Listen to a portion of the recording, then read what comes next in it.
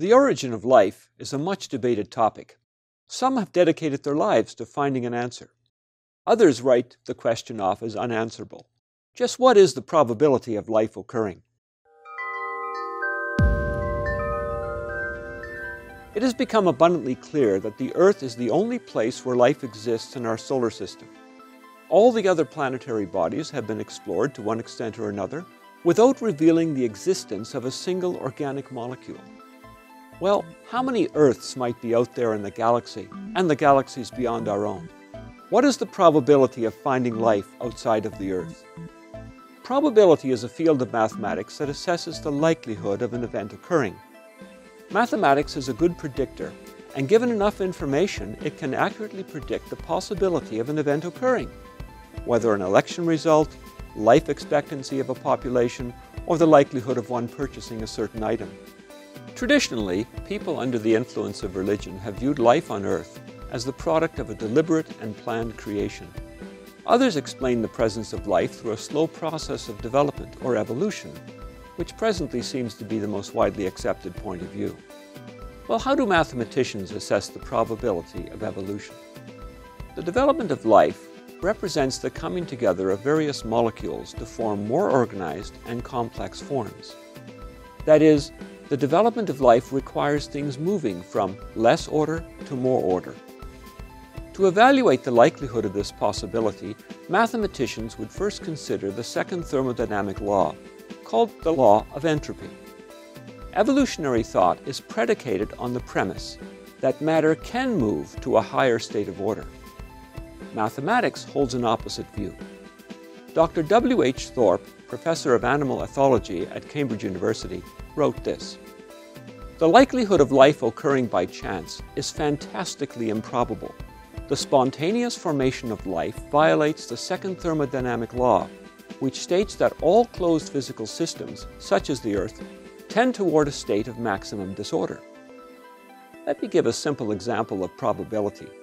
If you had a single die, the likelihood of rolling a 1 is 1 out of 6. If you had a 10-sided die, the likelihood of rolling a 1 is 1 out of 10. In order to show this, let's first express chances in a different way. We know that if your chances are 1 out of 100, that can be written as 1 over 100 or 1 over 10 to the power of 2, 2 representing two zeros.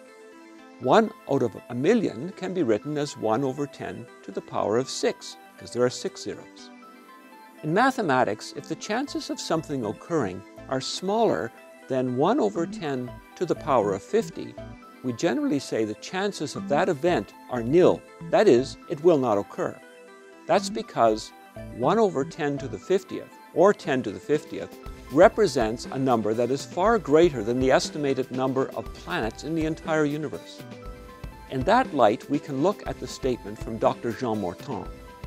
The odds that a single large protein molecule can develop by chance are 1 over 10 to the power of 113.